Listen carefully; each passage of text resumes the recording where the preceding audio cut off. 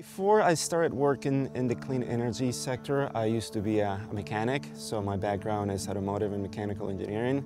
But I also enjoyed doing a lot of uh, hiking and walking in nature, and I started to ask myself if what I was doing really aligned with the natural resources or the use of our um, energy and natural resources. And then I discovered that I, uh, my work wasn't really that aligned with it.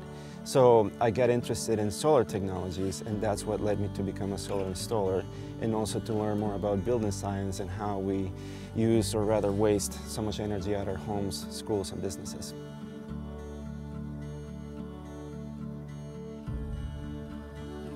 When I came to the Hudson Valley, I had no idea what to expect really, but the more I spent time getting to know this area, the more I fell in love with it. There is a huge value on the natural resources in this area.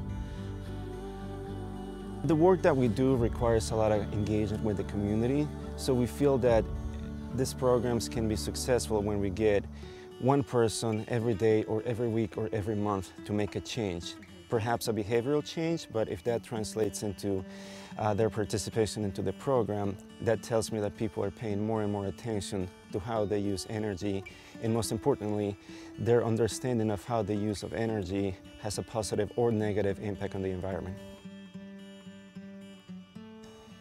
So going through the Good Work Institute Fellowship, I honestly did not think it was going to be more than another networking experience. And what I found at the end is that I ended up gaining a whole new family. The people who I met there are incredible human beings and they are more defined not just by their work but by their actions and their missions as well teaches you to think beyond capitalism. It teaches you that there is more to just making profit and looking into your own revenue streams. It gets you thinking about how your work and those profits can actually translate into social benefit or regeneration for your community.